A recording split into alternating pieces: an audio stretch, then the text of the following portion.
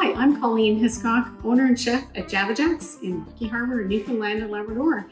In today's how-to session, we are going to make super juicy burgers. Sure that everyone has their own burger recipe. This one will be super juicy and you won't add any kind of extra ingredients other than those that you have around you. What we're gonna do is we're gonna take a pound of ground meat. And you can have lean ground meat of any kind, extra lean, I'm really after the lean component.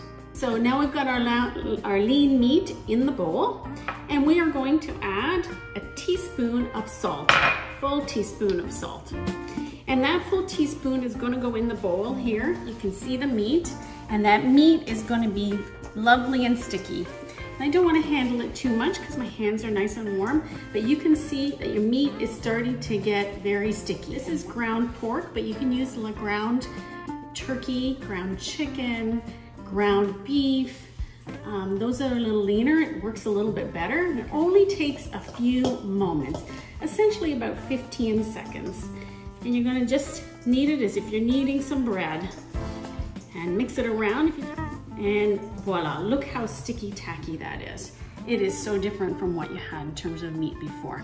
That is called extracted protein. And so we have that. We can now add, and I'm gonna add half a cup of water. Strange, hey? No eggs, no breadcrumbs, half a cup of water. A quarter cup at a time and watch it absorb. This is the magic of meat. The meat is gonna take on that moisture and it's gonna hold it in place. You're gonna have these wonderful, juicy burgers because now you've added a little water. Look at that, it's already absorbed. Another little bit, and it's amazing how much water this will take. Okay, so now all of that moisture is all absorbed of this wonderful sticky mass here. And what I'm gonna do is I'm gonna add some uh, onions and some garlic that I already had cooked. Sauteed, so you can add those or any other inclusions that you might have. So now I'm just gonna add a little pepper and the pepper is just going to add to the seasoning. So I've got onions and garlic in here as my inclusions. I'm gonna create myself my little patties. And essentially, these patties won't shrink to the same extent that you normally would. We're gonna let them sit we're gonna put them in the fridge. And we're gonna let them set up because the protein's not completely extracted. And so we need a little time. It's going to be, so you can set these up in the morning, put them in the fridge, and you will find that they'll firm up quite nicely for you, even with that full half cup, cup of water. And you'll find out when we go to barbecue them how great those are.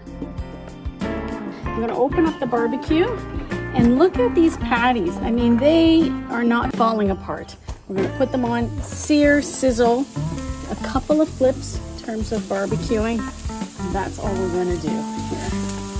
I'm gonna put them all in a little row here. I've only got half of the barbecue uh, warmed up here. And that's really all we're going to need. Those out of the way. Let them sizzle. We're going to sear them on one side and then we're to flip them over. Most people um, don't have the patience just let them cook. Most people want to touch them. We're just going to watch them for a minute. And what I want to see is a little bit more browning around the edges before I start to actually try and take them off. So we're just going to leave them and let them cook. And I have the barbecue open because the grill's quite hot, so I'm just going to let them cook uh, on that side.